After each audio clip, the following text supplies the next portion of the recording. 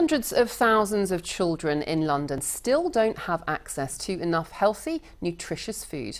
And today, young people from across the capital went to City Hall to demand access to a healthy diet.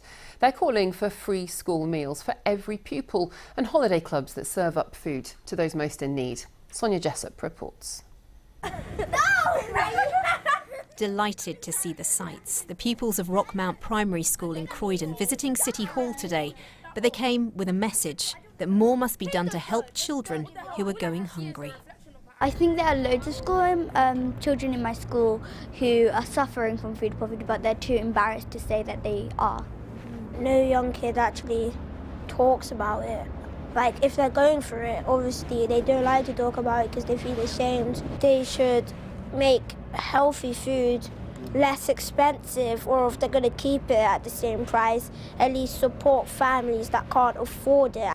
One school staff member tells me they've been giving out free bagels to stop pupils going hungry, but she's heard the funding's being cut. The stigma that's attached to it is huge. Uh, children do not want to admit if they're going hungry, so we as teachers and staff have to look out for these children, and we often do. We see they're hungry, they're not concentrating at school, so we will help them out where possible. Food insecurity, that is, when families are struggling to afford healthy meals, is a problem across the capital. Figures from the Greater London Authority suggest it affects 400,000 children. One in six parents say their children suffer from food insecurity, and 70% of young parents under the age of 24 say it's a problem for them. Today, among the demands from children and campaigners, calls for an independent children's food watchdog. There are too many gaps in policy implementation, policies being implemented badly, and children that are falling through the cracks. They also want free school meals for everyone to reduce stigma, something that's being trialled by the local council here in Hammersmith and Fulham.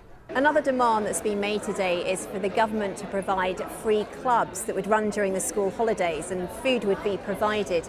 Campaigners say it's a particularly vulnerable time for children. We need statutory funding for children who would other be on, otherwise be on free school meals over the holiday period. That needs to be devolved to London, and so every young person has access to free holiday provision and good quality food.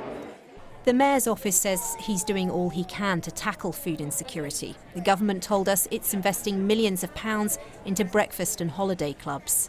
The pupils say they simply want every child to be able to eat and eat healthily. Sonja Jessup, BBC London.